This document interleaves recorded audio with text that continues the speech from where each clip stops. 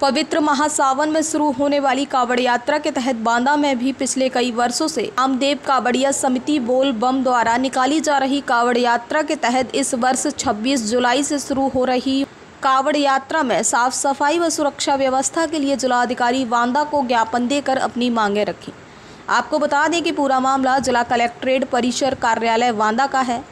जहाँ पर आज पहुँचे श्री वामदेव कावड़िया समिति बोल बम बांदा के पदाधिकारियों ने समिति के तत्वाधान में ज्ञापन देकर बताया कि प्रतिवर्ष की भांति इस वर्ष भी कावड़िया शोभा यात्रा 16 जुलाई 2024 दिन शुक्रवार को प्रातः 10 बजे प्राइमरी स्कूल अलीगंज गूलर नाका चौक बाज़ार, महेश्वरी देवी मंदिर से रामलीला रोड होते हुए रेलवे स्टेशन बांदा से झांसी प्रयागराज पैसेंजर ट्रेन द्वारा चित्रकूट के लिए प्रस्थान करेगी एवं अगले दिन पंचवटी घाट, आरोग्य घाट, चित्रकूट से जल लेकर शाम पाँच बजे भरतकूप, बदौशा, अंतरा आदि मार्गों से होती हुई बांदा के श्री वामदेव मंदिर पहुंचकर सोमवार 29 जुलाई 2024 को जलाभिषेक करेगी। इसी क्रम में जिलाधिकारी वांदा से निवेदन किया है कि चित्रकूट से वांदा के मध्य आने वाली ग्राम पंचायतों के मार्गों में साफ़ सफ़ाई व्यवस्था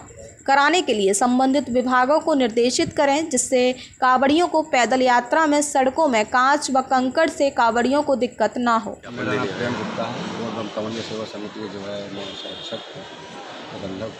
मेरे साथ हमारे बोलबम के अध्यक्ष हैं महामंत्री हैं कोषाध्यक्ष हैं सह प्रबंधक हैं वरिष्ठ उपाध्यक्ष हैं साथ में आए हैं। मैं ये कह रहा था कि हम लोग को लमसम सत्रह वर्षों से ये कह रहे हैं? कांवड़ यात्रा चलती है पद यात्रा चित्रकूट से बांदा।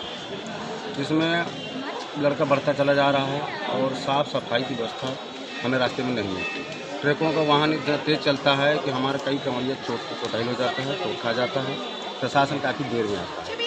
तो हम साहब से यही मांगने आए हैं कहने आए हैं निवेदन करने आए हैं कि जो है छब्बीस जुलाई से जैसे हमारी यात्रा प्रारंभ है उनतीस जुलाई तक रास्ते में जो वाहन है उसको थोड़ा बीमा कराया जाए और जगह जगह कस्बों में जहाँ जहाँ हम लोग रुकते हैं या चलते हैं थोड़ा साफ़ सफ़ाई के दृष्टि से कितने सूत्री ज्ञापन दिया है? जी इसी उद्देश्य से ज्ञापन दिया हुआ है। इसको ज्ञापन दिया जी